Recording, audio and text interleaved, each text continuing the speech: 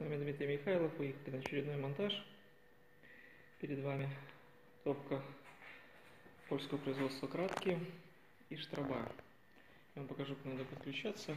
Это всего лишь один из вариантов. Шибер здесь уже установлен, родной. На болтиках вставлен, это большое преимущество. И штраба 140 на 270, мы туда будем вставлять овальную вставку. Покажу, что у нас получится, как можно подключить, какие нюансы могут возникать при подключении. Все, смотрим, а мы работаем. Я полностью загильзовал шахту овальной трубой 120 на 210 толщиной 1 мм. Сейчас я вам расскажу про некоторые особенности.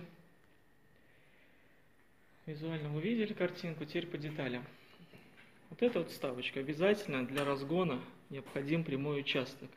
25, лучше полуметра для разгона дыма.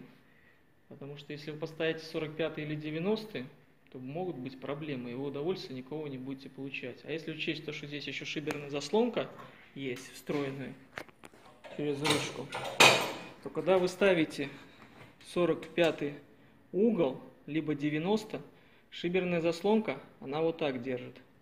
Она в положении открыта. И перекрывает вам просто часть дымохода. То есть у вас труба ушла в сторону, дымоход перекрывает. И тяга ухудшается в разы, просто в разы. Поэтому прямой участок обязательно, минимум 25, лучше полуметра. И все, и пошли. Угол 45 для смещения 90 и между ними, чтобы э, было все красиво, под, под, под, под, между ними и между ними, чтобы было все красиво, подогнали еще вставочкой. Все. И врезались мы в тройник. Тройник 120 на 230 овальный, миллиметровка. Везде миллиметровка стоит, только миллиметр. И врезались мы в него, я там герметик поставил. И снизу у нас стоит прочистка. Прочистка обязательно должна быть, если вы хотите нормальный дымоход. Остается. Мы видим у нас, что находится в канале. Надо почистить, почистили. Надо птичку спасти, спасаем птичку. Никаких проблем. И сборник конденсата. Сборник конденсата проварены в этом варианте. Течь нигде не будет. И снизу сосок стоит. Одна вторая резьба тоже проварена. Когда проектируете дом, учтите, что самый лучший дымоход – это приставной. Неважно, утепленный он, не утепленный, в шахте стоит. Объясняю почему.